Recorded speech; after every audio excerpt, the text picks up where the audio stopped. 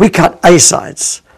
That's all we went in the studio for, and we would go in for like two hours on our, you know on the way to a gig. Uh, after doing like a few interviews and photo shoot, and maybe a TV show and a radio broadcast, you know, we'd go in for two hours, and it had to be an A side. That's the only thing we were going to play on the radio. And if it was longer than two minutes ten, then we had to trim it because they wouldn't play no more than two minutes ten.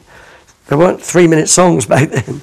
So Hey Girl was yeah, it was a compromise because Steve and Ronnie wanted to write. They see how Shalalala was okay. I've Got Mine wasn't. Well, then we got to write something very pop.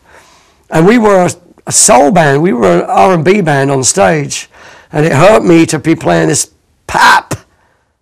Hey Girl was a great song. The fact that we wrote it meant a lot more than, than just somebody else writing a commercial song. Um, still didn't represent what we were really all about, but nevertheless, we it was ours, and that's the way it was crossing the great divide. So we thought we'd do that, and then we'd just slowly get into what we really want.